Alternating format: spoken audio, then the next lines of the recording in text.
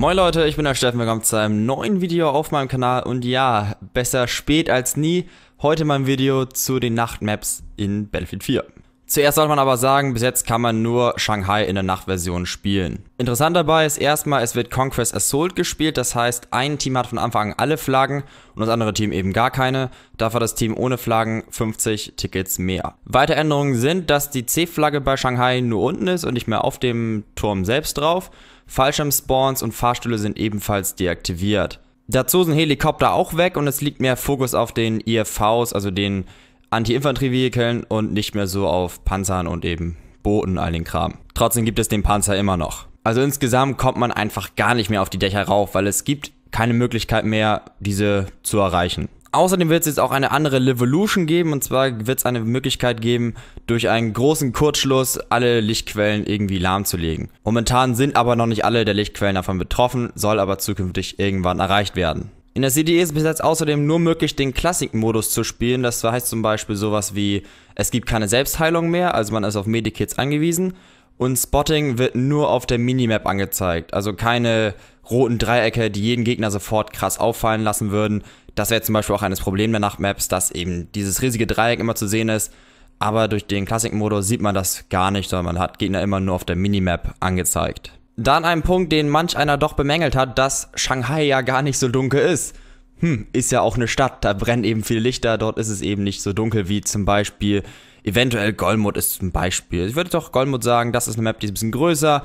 Die könnte bestimmt eine Nachtversion deutlich dunkler sein, als es Shanghai ist. Aber trotzdem muss man Shanghai auch zugute heißen. An manchen Stellen ist es doch wirklich dunkel. Aber manchmal innerhalb von Gebäuden und so ist natürlich hell und da fällt die Nachtversion nicht ganz so stark auf. So kann man auch sagen, dass ihr NV und FLIR, also diese Nachtsichtvisiere, halbwegs diese Wärmeerkennungsvisiere, sind keinesfalls Pflicht.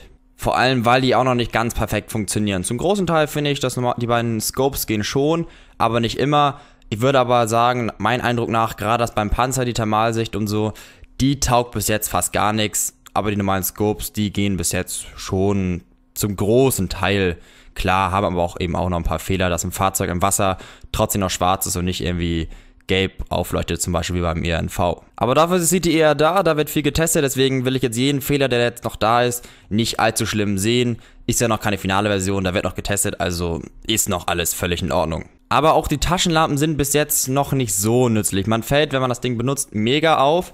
Und das, was es macht an Licht, ist ein leider sehr kleiner Kegel. Es lohnt sich irgendwie nicht. Man fällt mehr auf, als man Licht macht, um irgendwas zu sehen. Deswegen, der Effekt ist momentan noch nicht so taugbar. Man sollte, finde ich, jetzt wirklich bis jetzt eher ohne Taschenlampe spielen. Und außerdem, wenn ich richtig geguckt habe, reflektieren sechsmal Scopes und höher immer noch. Und ey, es gibt keine Sonne, also deswegen sollte vielleicht die Reflexion von Snipern auch irgendwie weg. Außerdem soll ein Panzer noch Scheinwerfer bekommen, die gehen noch nicht. Ich muss auch sagen, bis jetzt konnte ich auch ohne die spielen. Wäre aber cool, wenn die noch irgendwie kommen würden. Und sonst muss ich sagen, zur Nachtversion von Shanghai, die Idee selber gefällt mir und ich freue mich auch auf die fertige Version. Man sieht halt schon mal ganz gute Ansätze, aber ein großes Fazit ziehen ist irgendwie wenig sinnvoll. Es ist einfach nur eine Map und die ist noch nicht perfekt. Man sollte aber warten, bis ein paar mehr Maps da sind, wenn die sagen, so ja, bald kommt die finale Version. Dann kann man sagen, es ist gut, lohnt sich das, macht das Spaß irgendwie. Aber momentan ist es einfach noch zu grob, zu unfertig, dass man jetzt irgendwie super sagen kann, das wird jetzt klasse oder das wird schlecht. Das geht einfach noch nicht. Ich will aber schon mal sagen, dass mir die Bodenvariante von Shanghai gefällt. Also keine Dachcamper und Co. Also unabhängig davon, dass jetzt hier Nacht ist, einfach nur selber dieses Prinzip von kein Helikopter, kein aufs Dach kommen. Die finde ich cool und die kann man fast auch mal so in eine Tag-Version mit einbauen. Hätte ich echt gerne mal im Battlefield 4 zum Testen. Ja, und das war's schon. Mehr kann ich einfach nicht erzählen. Es gibt noch nicht viel zu sagen. Und ja, hoffentlich hat's dir gefallen. Daumen hoch ist natürlich ziemlich geil. Man sieht sich. Haut rein. Ciao.